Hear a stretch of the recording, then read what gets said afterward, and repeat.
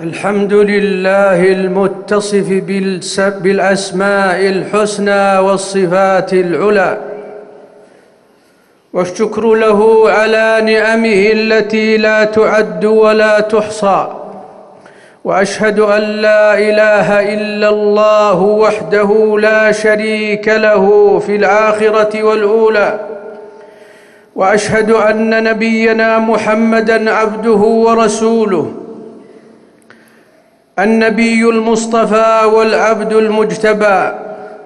اللهم صل وسلم وبارك عليه وعلى آله وأصحابه أهل الخير والتقى. أما بعد فيا أيها الناس أوصيكم ونفسي بتقوى الله جل وعلا. فمن اتقاه وقاه وأسعده ولا أشقاه. قال جل وعلا ومن يتق الله يجعل له مخرجا ويرزقه من حيث لا يحتسب. ومن يتق الله يجعل له من امره يسرا.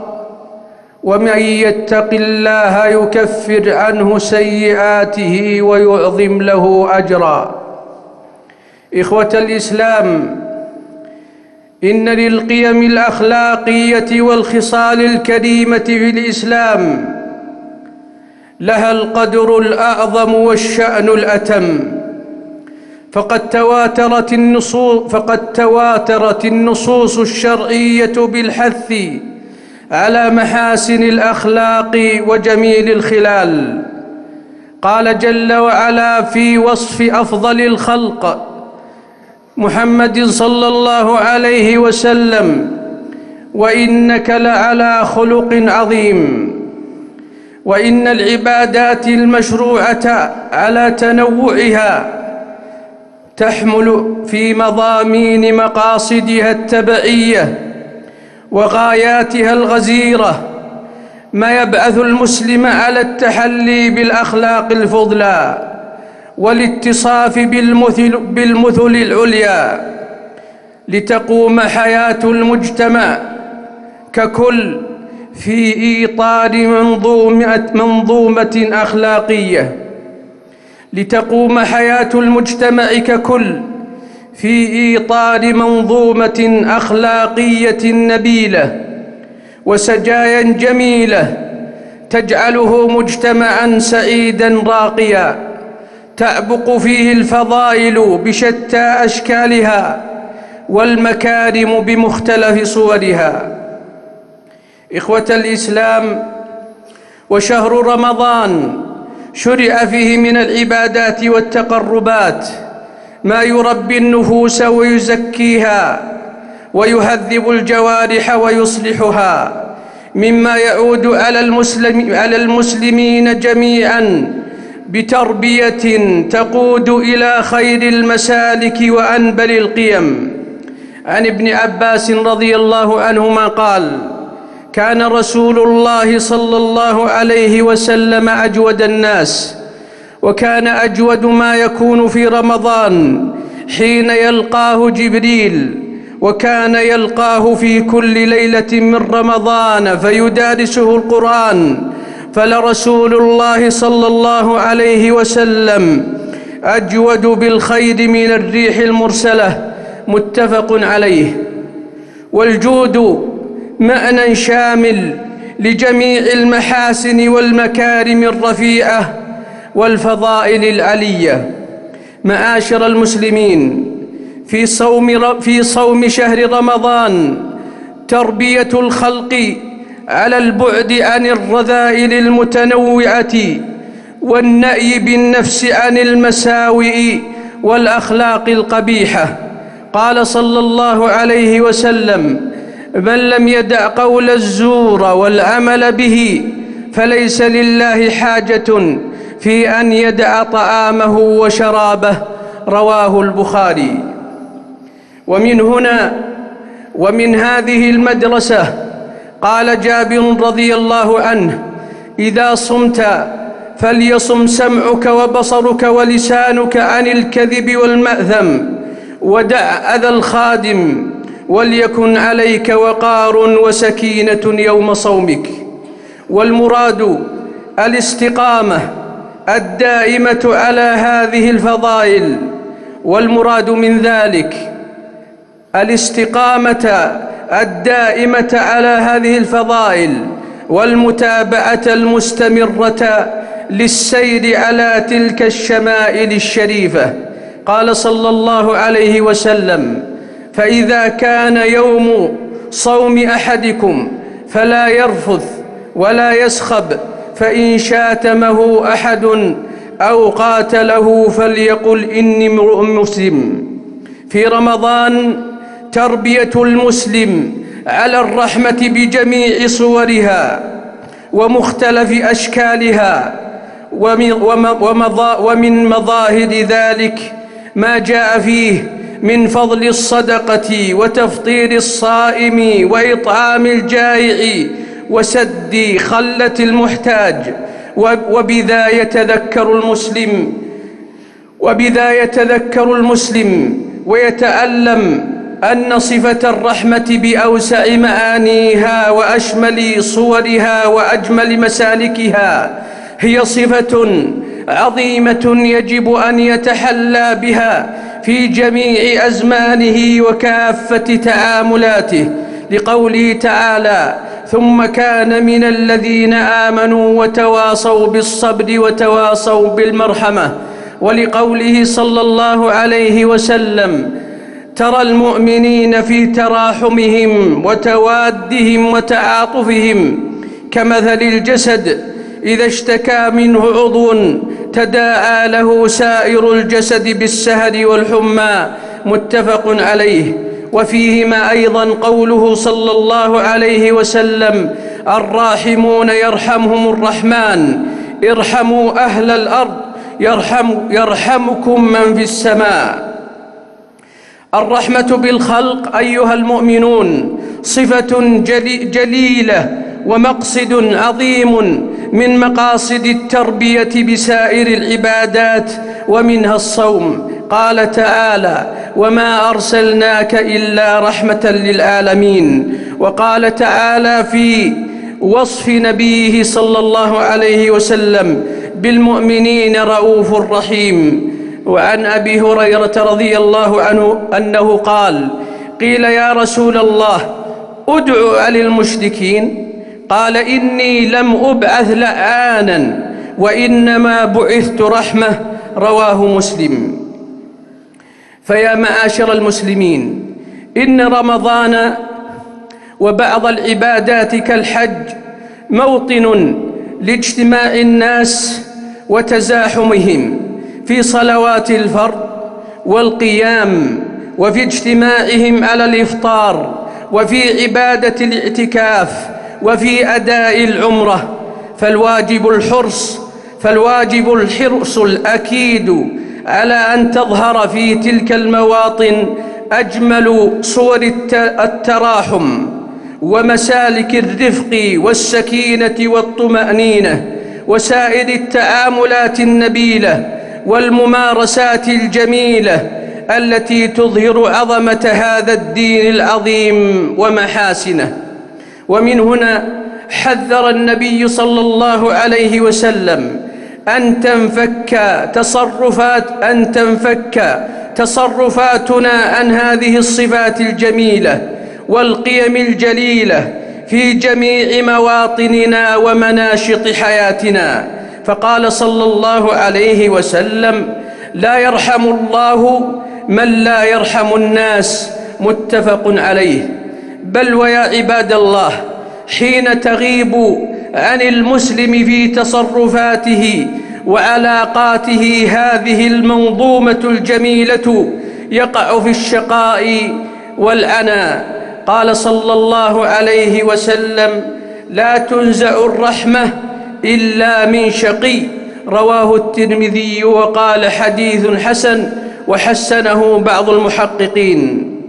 فلنرحم الصغير ولنوقر الكبير ونعين الضعيف وذا الحاجة. قال صلى الله عليه وسلم ليس منا من لم يرحم صغيرنا ويعرف شرف كبيرنا. رواه أحمد والترمذي. وقال حديث حسن صحيح. أيها الأئمة تذكروا صفة الرحمة حتى في قيامكم وتهجدكم بالناس في قيام رمضان مع الحرص الشديد على السنة قدر المستطاع وتجنبوا الإطالة في دعاء القنوت. فقد قال صلى الله عليه وسلم ولا قول مع قوله إذا صلى أحدكم بالناس فليخفف فإن في الناس الضعيف والسقيم وذا الحاجة متفق عليه. وقال صلى الله عليه وسلم إني لأقوم في الصلاة أريد أن أطول فيها فأسمع بكاء الصبي فأتجوز في صلاتي كراهية أن أشق على أمه متفق عليه. اللهم انفعنا بالوحيين أقول هذا القول وأستغفر الله لي ولكم ولسائر المسلمين من كل ذنب فاستغفروه إنه هو الغفور الرحيم.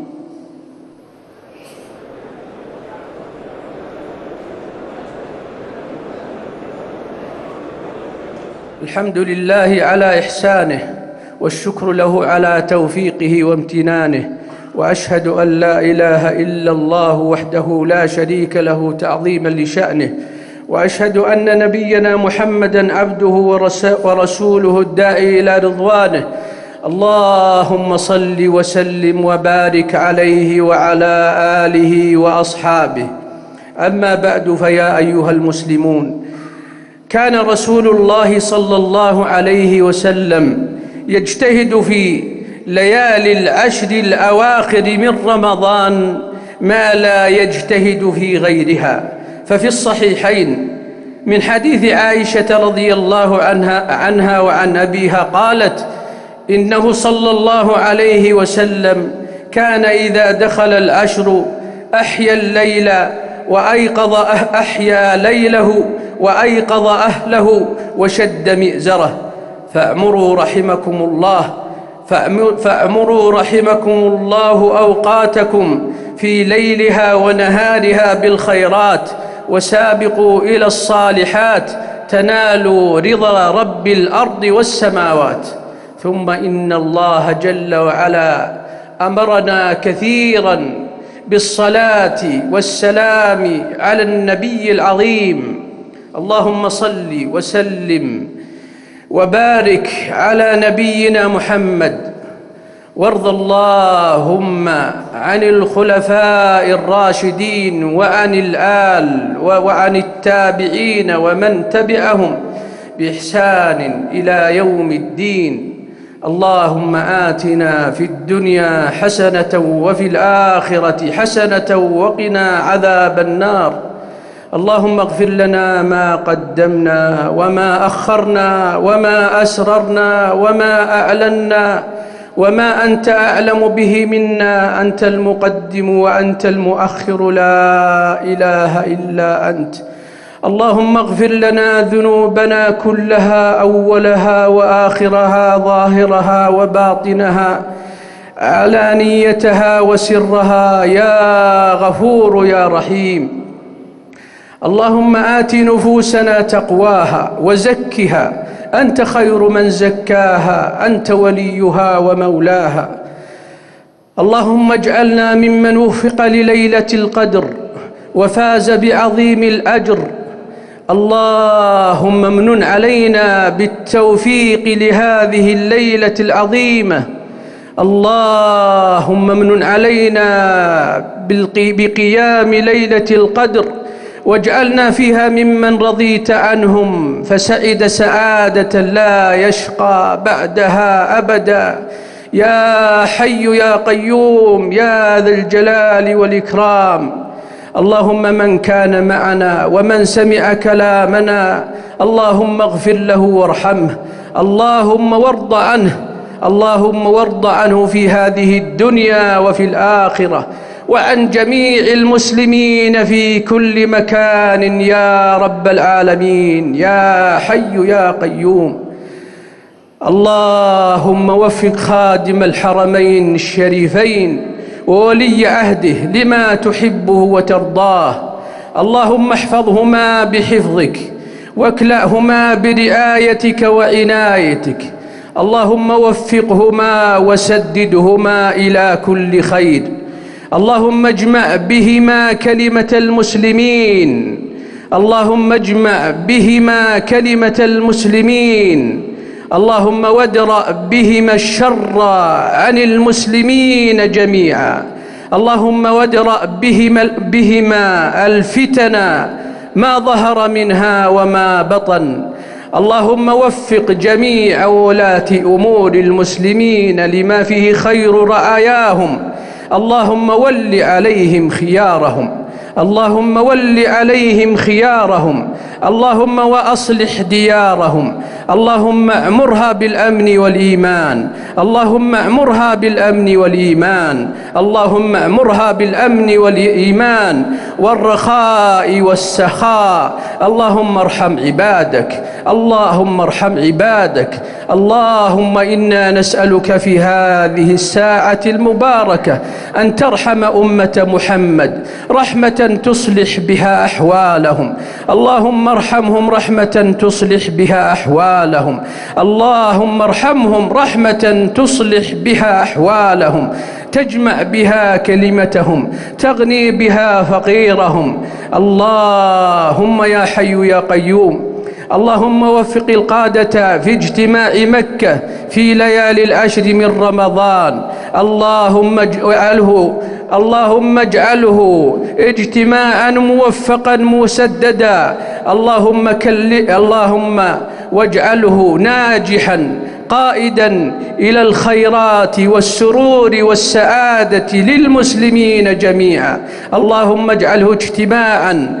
فيه السبب الأعظم لدفع الأخطار والفتن والحروب عن المسلمين يا رب العالمين. اللهم استجب لنا يا حي يا قيوم. اللهم استجب لنا يا حي يا قيوم.